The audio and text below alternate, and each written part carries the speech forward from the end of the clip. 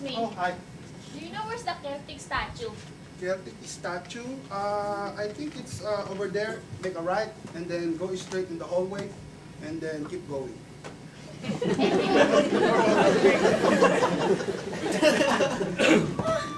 Halata naman Pilipino, ayaw pa mag-Tagalog.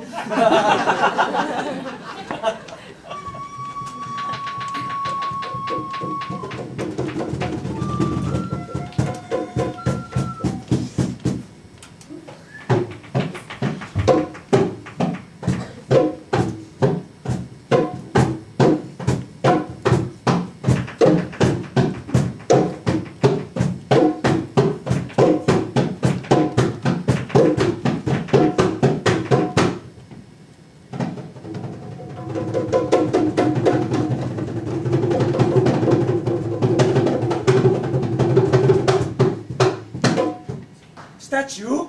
Is this?